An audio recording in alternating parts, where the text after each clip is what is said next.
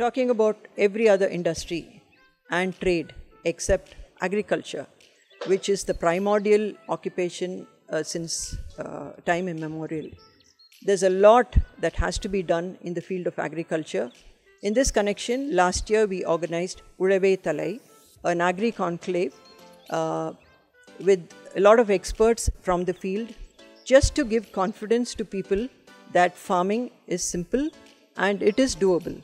A lot of uh, apprehension amongst the, the new generation that agriculture is very difficult because it involves a lot of hard work and in, in, it, it has a lot of uh, complexities. But to dispel that myth, we organized the Uzhave Thalai last year, which was uh, very successful. And based on the success of last year's Uzhave Thalai, we have organized uh, Uzhave Thalai, the second edition this year, uh, on June 23rd at the Hindustan College Auditorium from 8.30 to 5.30. Our uh, chief guest for the event is Dr. S.K. Mailanandam, chairman of SKM Group of Companies, a moderator who has been guiding us, who has been a mentor for us, is Dr. G. Shivaraman, who's basically advocating a lot of millet farming.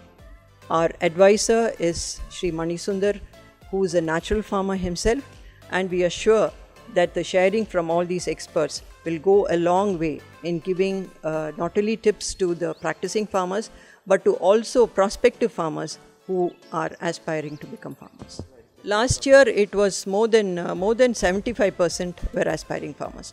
A lot of curiosity, and uh, we're happy to say that uh, more than 50% of them have have expressed their interest to come back And but due to shortage of space, we have we have only 750 seats available and already 450 to 500 have been taken. So we just have about 250 left.